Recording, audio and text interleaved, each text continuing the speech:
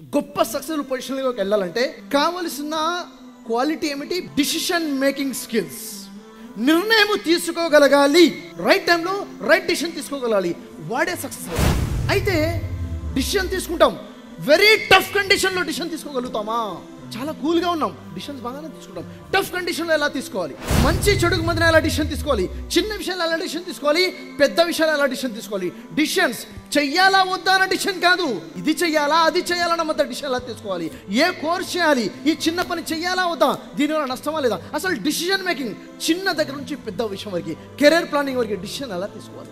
చాలా మంది ఇక్కడ మిస్టేక్ చేస్తుంటారు. ఈ డిసిషన్ మేకింగ్లోనే మిస్టేక్ చేస్తుంటారు. వారు తప్పు చేశారన్న విషయం వారికి అర్థం కూడా కాదు. అసలు డిసిషన్ మేకింగ్ ఎలా ఉండాలి? ఉదాహరణకి రైట్ అండ్ రాంగ్ రెండు ఉన్నాయి.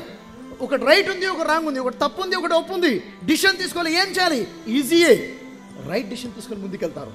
రైట్ అండ్ రాంగ్ మధ్యన డిసిషన్ తీసుకోవడం ఈజీయే ఒకవేళ అక్కడ రైట్ అండ్ మోర్ రైట్ ఉంటే ఒకటి సరి అయింది ఉంది ఇంకోటి ఇంకా సరి అయింది ఉంది. డిసిషన్ తీసుకోవడం ఆలోచించాల్సిన అవసరం ఉంటుంది. అది చిన్న విషయం కావచ్చు కెరీర్కి సంబంధించిన విషయం కావచ్చు ఫ్యామిలీ రిలేషన్ సంబంధించిన విషయం కావచ్చు బిజినెస్కి సంబంధించిన విషయం కాదు. అలాగే రాంగ్ అండ్ మోర్ రాంగ్ ఉంది. ఏది వదిలేయాలి మోర్ రాంగ్ని వదిలేయాలా దూరం చేయాలా?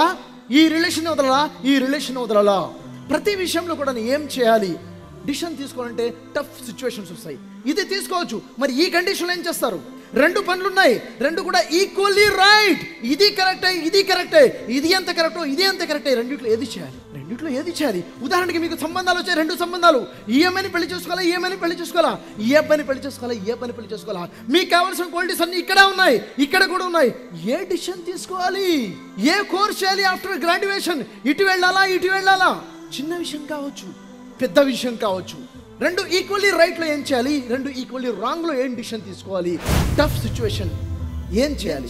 ఏం చేయాలి అంటే లైఫ్లో ఒక ప్లానింగ్ గురించైనా కెరీర్ గైడెన్స్ అయినా కానీ ఎప్పుడు ఎలా డిసిషన్ తీసుకోవాలో క్లారిటీ లేకపోవటం వల్ల ఫైనాన్షియల్ మేనేజ్మెంట్ ప్రాబ్లమ్స్ వల్ల రిలేషన్స్ మేనేజ్మెంట్ ప్రాబ్లమ్స్ వల్ల డిప్రెషన్కి లోనవుతున్నారు స్ట్రెస్ లెవెల్స్ పెరుగుతున్నాయి. దీనికి రీజన్ ఏంటో తెలుసా? సరైన సమయంలో సరైన గైడెన్స్ లేకపోవడం వల్ల సరైన మెంటర్ లేకపోవడం వల్ల ఈ ప్రాబ్లమ్స్ ఫేస్ చేస్తున్నాం. అందుకే ఇవన్నీ దృష్టిలో ఉంచుకొని ఒక యూనిక్ లెవెల్ వర్క్షాప్ ప్లాన్ చేయాలని నేను డిసైడ్ చేసుకున్నాను. Two days life changing workshop అద్భుతమైన workshop unique level workshop లైఫ్లో ట్రాన్స్ఫార్మేషన్ తీసుకొచ్చండి వర్క్షాప్ డిసిషన్ మేకింగ్ గురించి మనం నేర్చుకోబోతున్నాం. ఎలాంటి డిసిషన్ తీసుకోవాలి అన్నది. మీరు ఏదైనా బిజినెస్ స్టార్ట్ చేయాలనుకుంటున్నారా? ఎలాంటి బిజినెస్ స్టార్ట్ చేయాలి? చాలామంది బిజినెస్ స్టార్ట్ చేస్తున్నారు ఫెయిల్ అయిపోతున్నారు. రీజన్స్ ఏంటి? సరైన ప్లానింగ్ స్ట్రాటజీ ఎలా ఉండాలి? న్యూ బిజినెస్ ప్లాన్ ఎలా చేయాలి? ఉన్న సంపద మీ దగ్గర ఉన్న డబ్బుని ఎలా మేనేజ్ చేయాలి? క్లియర్ కట్ ప్లానింగ్ చేయబోతున్నాం. వర్క్షాప్లో అతి తక్కువ మంది పార్టిసిపెంట్స్.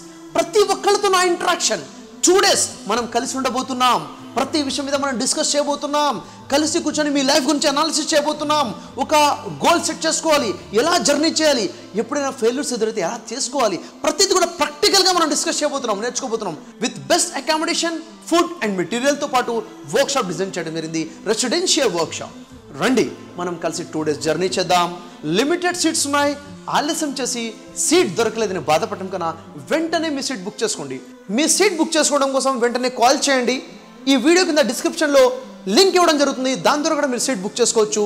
ఈ విషయం గురించి మీ ఫ్రెండ్స్కి చెప్పండి. మీ రిలేటివ్స్ తెలియచేయండి. సోషల్ మీడియా మీ ఫేస్బుక్ మీ ట్విట్టర్ మీ వాట్సాప్లో అందరికీ షేర్ చేయండి. మీతో పాటు మీ ఫ్రెండ్స్ కూడా లాభం పొందే విధంగా చేయండి. వర్క్షాప్కి రావడం మీ రెస్పాన్సిబిలిటీ. వచ్చిన వాళ్ళ లైఫ్లో చేంజ్ తీసుకురావడం నా రెస్పాన్సిబిలిటీ నేను ఎదురు చూస్తుంటాను కలుద్దాం